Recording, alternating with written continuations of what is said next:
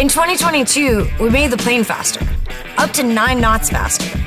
Our engineering team took a magnifying glass to the outside of the airplane. They were able to refine the wings and the tail and reduce drag. We re engineered the wheel pants, optimized them, and made them insanely aerodynamic. Performance isn't just about speed, it's about going further, it's about being more fuel efficient, lowering your carbon footprint. But really, who doesn't love an extra nine knots? Flying this plane across the country and back last week, I definitely noticed the speed.